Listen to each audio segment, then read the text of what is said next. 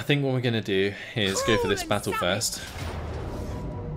And it looks like it's another one that's completely in our favour, but we are going to quick save it and uh, fight it on the battle map nonetheless. Let's go.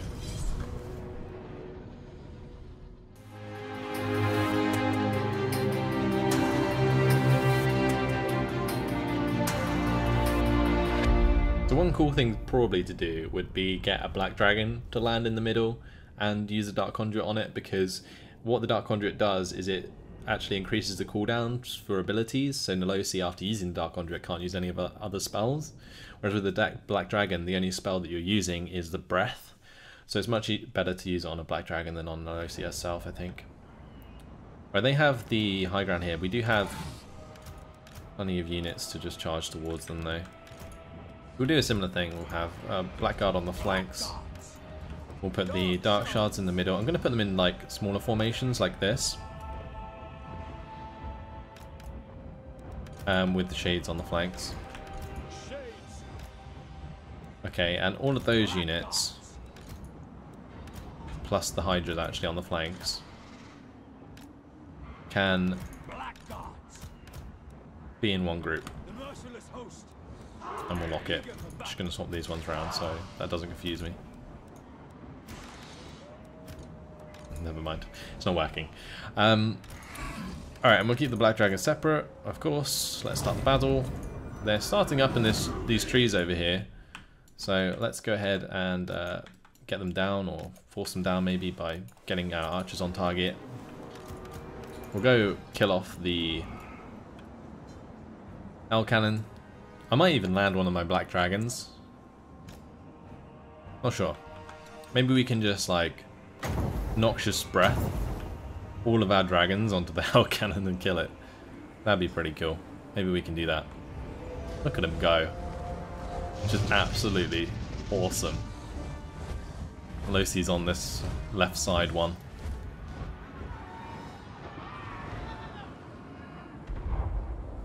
Trying to hit my black dragons with the Hell Cannon. Time to split, boys.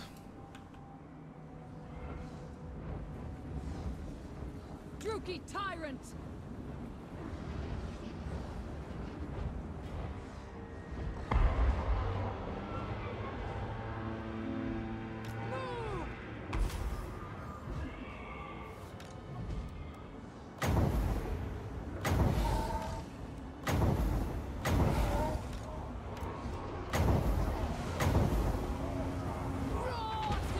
Alright, let's kill off this Hell Cannon.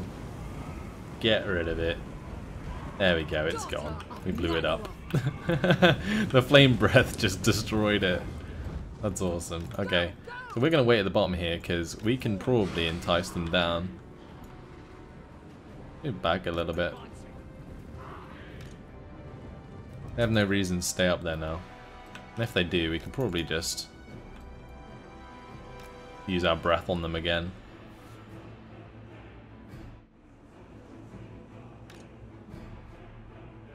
Hello, boys. How's it doing down there? Why would you just stand there and take this?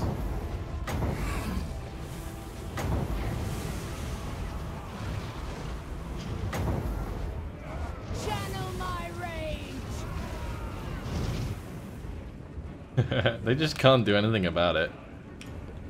I didn't have any spells or anything to bring them down, so... We can just do what we want. They're going to have to come and charge us. Which is exactly what's happening. And then as soon as I engage my front line, I'm going to have the Hydras coming on the flanks, and uh, we will wreck them. I'm very tempted to actually have these Black Dragons engage the Chaos Knights. Um, we'll keep we'll keep sort of on top of the Black Knights here, or the Chaos Knights, and I'll use my breath on them again. Wherever next.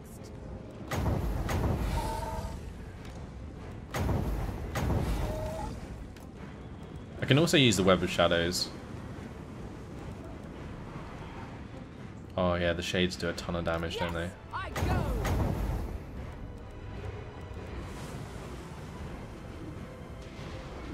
Lovely.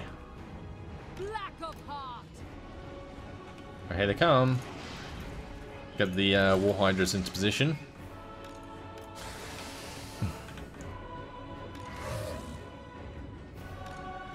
Uh, probably need to turn off skirmish mode on all of these, put them on guard mode.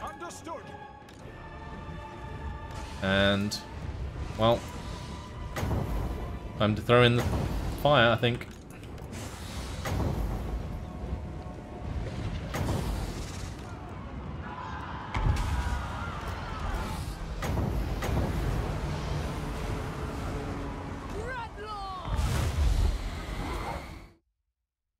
Okay, the other thing we can do is have one of these black dragons just land in all in the middle of this infantry.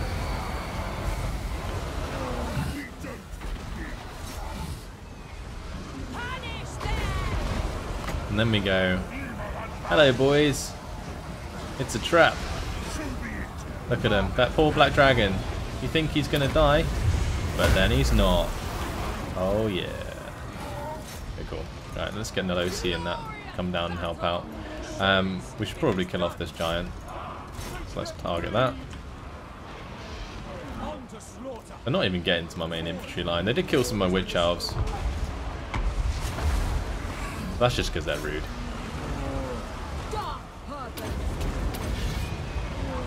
The Web of Shadows down. Use Foe Seeker, Deadly Onslaught. Probably should have used that before she landed, but that's pretty much job done. The Hydra there completely wrecking the Chaos Giant. Let's see if we can kill it with the Flame Breath. Oh, yes. Oh, that was so cool. I love this army. Nelosi has the army she always dreamed of. Absolutely spectacular. Double War Hydra, double Black Dragon with her own Black Dragon fantastic. Close victory. How is that a close victory?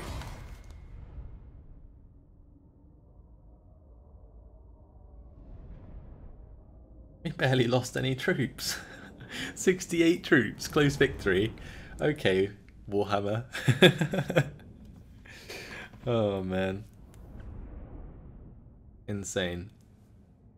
This army is like almost perfect. The only thing I don't like about it is that Nalosi is reliant on witch elves. I kind of feel like witch elves aren't that good. They belong to me. We'll take the replenishment again and the slaves.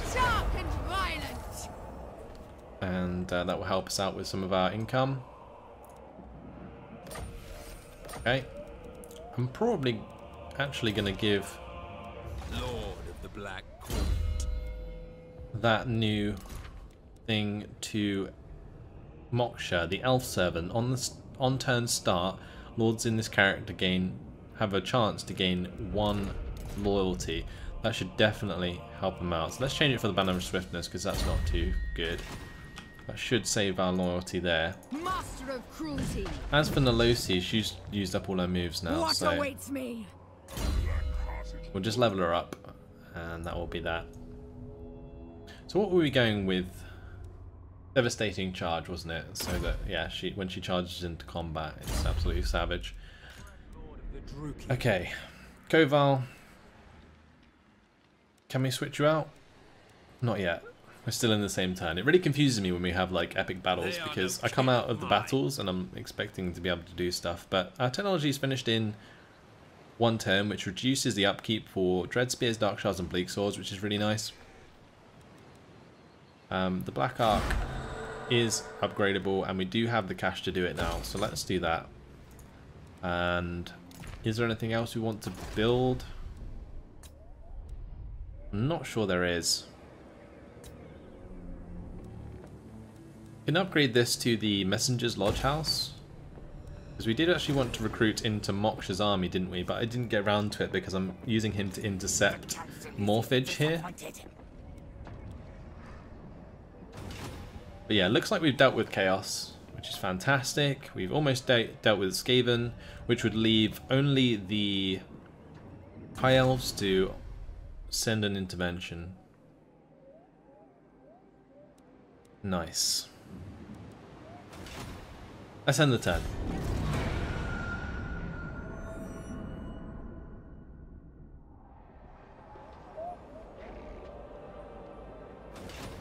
Busy Ray said, did one dragon get four levels in one fight? I'm actually not sure.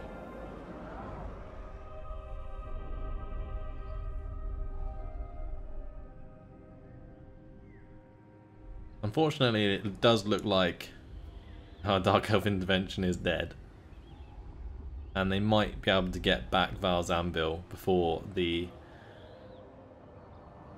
before the ritual ends, which would kind of suck, I guess.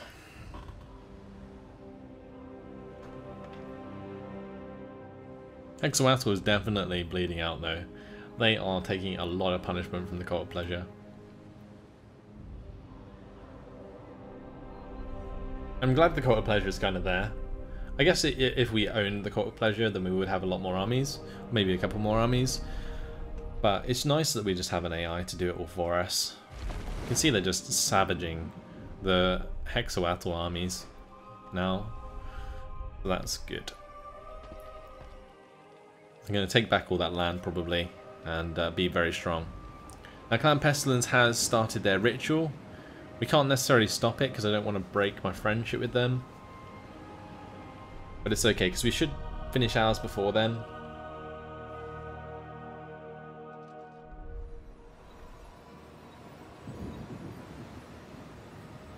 It'll be worth looking again in the next turn if we can secure more trade agreements again.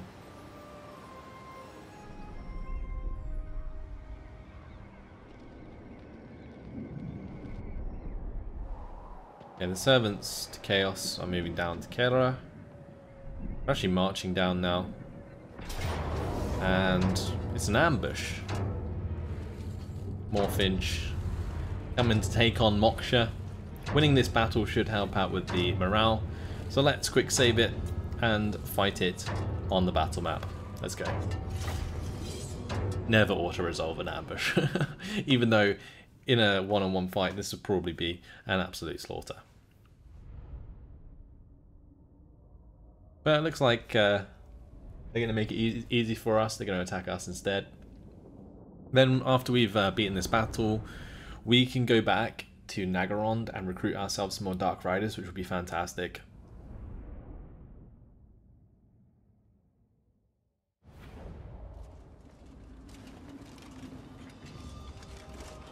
Find it really funny how he's like slow-mo riding in the air. Alright, time to pause. Their entire army below us? I guess we're kind of on a hill, aren't we? Hmm, how do we want to do this? We don't necessarily have any like fast units, so we got to be a little bit careful about these Plague Claw catapults. That's kind of annoying. Uh, we could have maybe some of the dual weapon shades run around the corner and uh, take them out.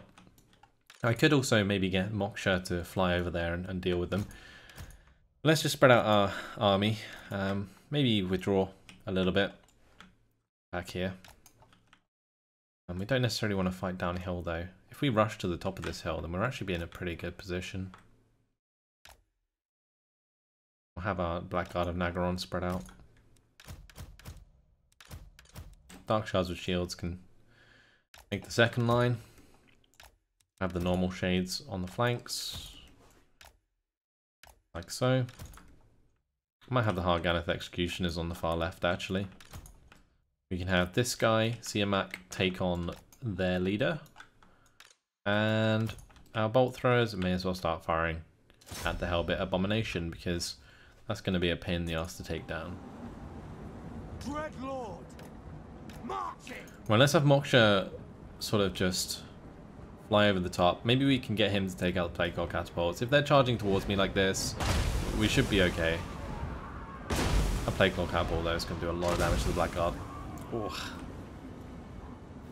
Not good.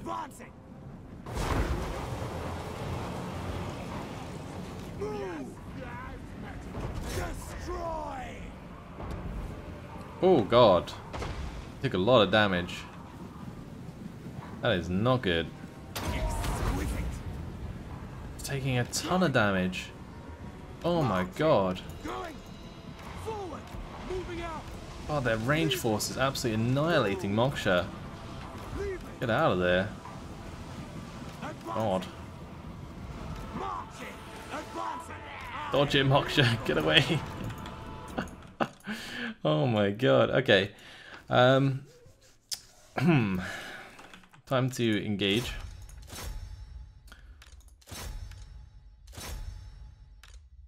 We have Blackguard taking on the Hellpit Abomination. Let's have all of these guys turn off skirmish mode and just start firing. Um, these two need to stop and start firing as well. Har Ganeth Executioners can get over here. Those Blackguard and Aggron are blooming quick on their feet, I'll tell you that much. Didn't expect him to get that far that quick. Unfortunately, Moksha's kind of getting wrecked. Maybe try and kill these Night Runners. I might have Moksha just come in there and take him out.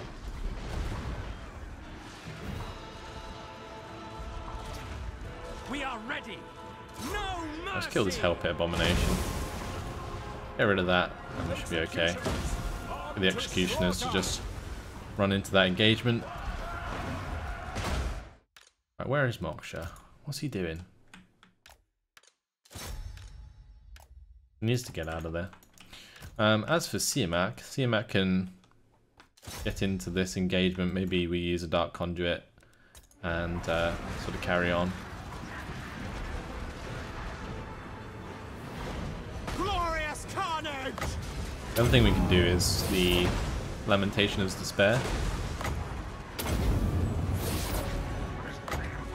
Use it.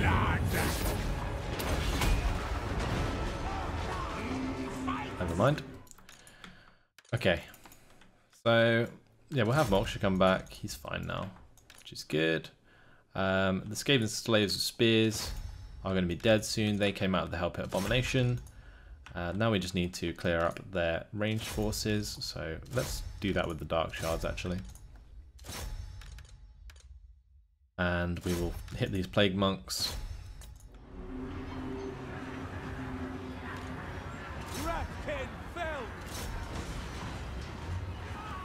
let's maybe just do a Dark Conduit in the center here. That will destroy those two units. And then we can sort of charge them down. Okay, cool.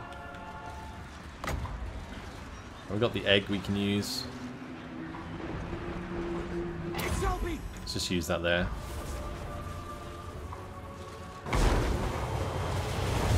Now, with most of these gutter runners dealt with, we can probably have Moksha and Siamak take on their general, but just a little bit worried about getting hit by more ranged forces. Maybe if we focus the warp fire um, throwers with the shades with dual weapons, that will get the job done. Then we can have Moksha just go straight into Morphage. We can have Siamak do the same. Um, this left flank, those Plague Monks have done a lot of damage. Hopefully the Shades will start taking them out. I might even get these Shades to get involved. They do have great um, dual weapons, and they have 61 melee attack, so they're pretty damn good.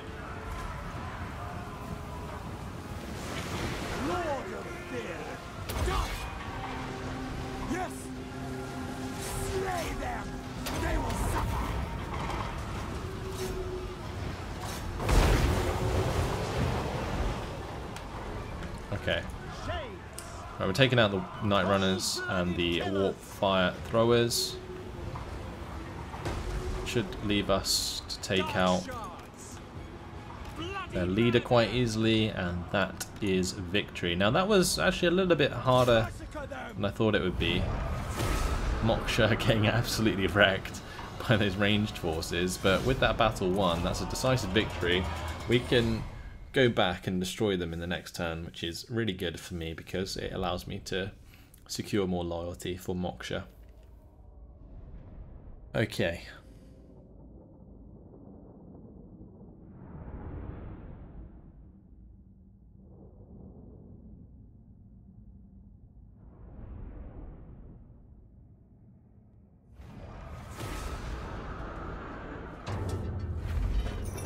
So sorry there if the uh, the stream went down for a little bit. Um, no idea why. Honestly, I have no idea. Maybe the uh, my internet might, might have gone down for a second or something, and I didn't notice. Um, fortunately, it doesn't affect my recording. Um, so yeah, sorry about that, guys. Um, but we basically just won the, the battle against uh, Morphage, and yeah, Moksha took a hell of a lot of damage to the face from the uh, Gutter Runner's poison. That was pretty funny. Acknowledged at last.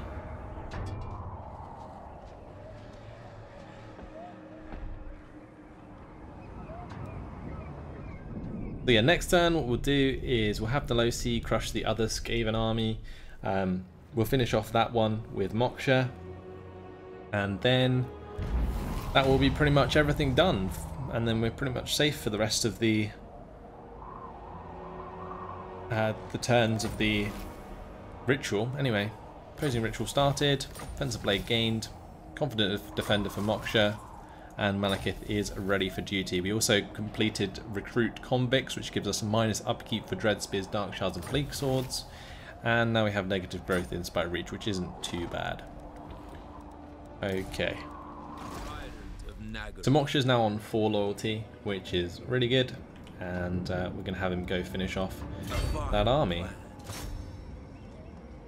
We should probably level him up first, but we're just going to auto-resolve that to get rid of them. And we'll take that replenishment. And we will march back in the opposite direction. We've just got two points to spend now, which is fantastic. He's actually only one rank from getting himself a Black Dragon, which is nice. So we'll give him Wound Maker.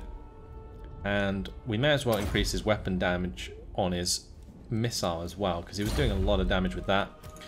Uh, Siamak leveled up, so we're going to continue with Counter-Strike. And Nanlosi is in range to attack this Skaven army. So for those of you on the stream that missed out on the last Skaven Slaughter, enjoy this one as we are going to fight it on the battle map.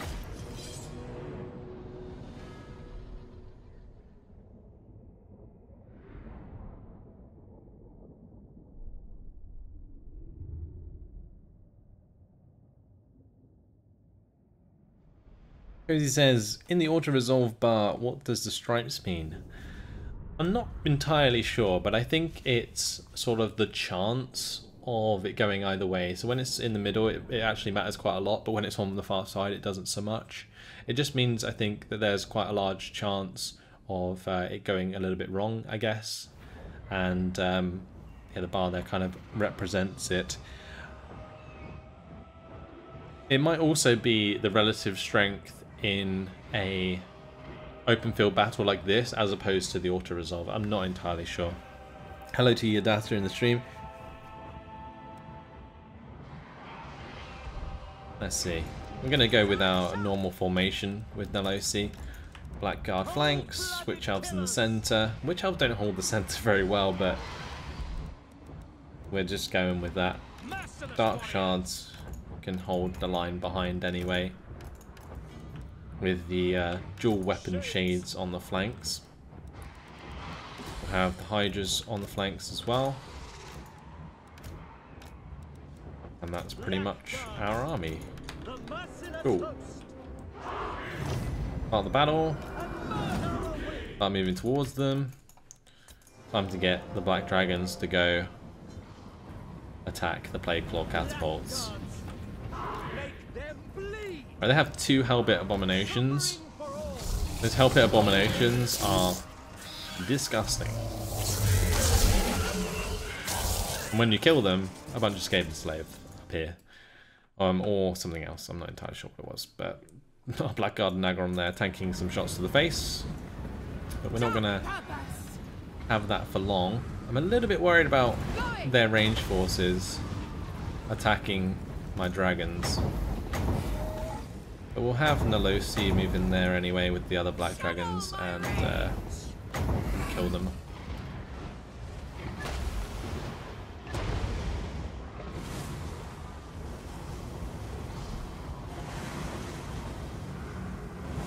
Wow, those were the most disappointing strikes I have ever seen. We did destroy two of the two of the catapults there. That was actually quite good. We do have the Shadows of Anlec to use, which is quite cool. Make sure all of these guys are on guard mode. And uh, this should end pretty damn quick. I'm pretty sure that Hell Pit Abomination is dead before it even hits us. Maybe not. Yep, maybe it is. Okay, so that's fine. We've got warp fire throwers there. We can probably get into those with one of the dragons. We don't want the low sea to take too much damage. Oh, we got rid of the units over there anyway. Um, should probably have these war hydras coming in from the flanks. Use the shadows of Anlec here, which is cool. Let's target their Night Runners. Kill those off. The other thing we can do here is if we go Deadly Onslaught, Foe Seeker, we can get right into the middle of all of these units. And when she is, we'll go for the Dark Conduit. we'll just do it now. Fantastic. Okay, so that's worked. Uh, let's get this Black Dragon over here to come back and maybe we can hit them with some fire. Hell Pit Abomination in the middle is doing quite a lot of damage to our lines, so we will take care of that. Get all the Dark Shards on target there. Okay. Uh, then what we're going to do is probably use this War Hydra to just go charge at some of these Gutter Runners. Maybe we do that with the dragon here. Nalosi's going to deal with this warlord quite easily. this poor warlord picked up a fight with Nalosi. the weapon damage is just nuts. He's so dead. He's just gone.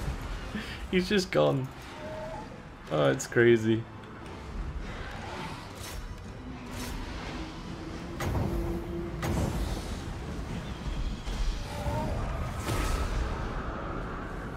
They're gone. we'll end the battle there for a decisive victory.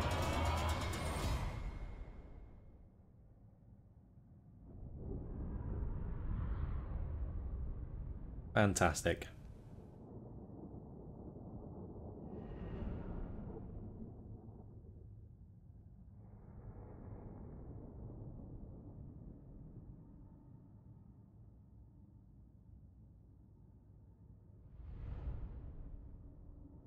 So 141 losses isn't too bad. Untouchable, undefeatable. That catapult just does so much work. Loads of lovely loot gained, which is nice. And we are going to take the slaves. Power, That puts us, I think, over 10,000 slaves now. And the unknown Skaven clan is destroyed. We have the Armor of Eternal Servitude, which has the passive ability of regeneration. Wow. Let's go to our followers and see if we can add that to somebody's army because that armor is pretty damn decent. We have the Helm of Discord on Nalosi. Getting her the regeneration would be pretty damn cool. I feel like her ability is already pretty good though. We could give it to Siamak. What about Malekith? If we get Malekith into Koval's army, not sure if we can do this in a battle, but we can replace him with Malekith. Can we do it? We can! Oh, that's awesome. So it's going to be the fight between Malekith and Valen once again. And Malekith has a Trickster's Helm. So we may as well give him the Armor of Eternal Servitude, actually. Because we actually get more armor, less melee defense, but we get the same ward save, and we get the regeneration, which is nice. It's constant on self. We can upgrade his weapon as well. He currently has a Sword of Strife. I think getting the Chill Blade was a pretty nice idea. There's the Crown of Command, which isn't the best. Let's go for the Potion of Healing. I'm not sure I'm going to ever let him get low again. and the Forbidden Rod. Great increase to power reserves, but we now have the ability to get the back Book of Ashur and the Scroll of Leeching. And this Book of Ashur I think is pretty damn good for the extra Winds of pa Magic Power Reserve like that. The Malekith's uh, all set up. Um, Siamak here, he can get the Trickster's Helm. He's got the Tormentor Sword currently, which is pretty good. He's got the Luckstone as well, which is fine. And he's got the Rod for Briars, which is nice as well. He doesn't need any more followers. Uh, Rubinist doesn't need anything. Uh, Web of Shadows is fine on the low sea, and of Discord is the best she's going to get now. Okay, so that's fine. We've done all of our armor and I our followers. We just need to catch up now to the army here, the Chaos Army, and we're good.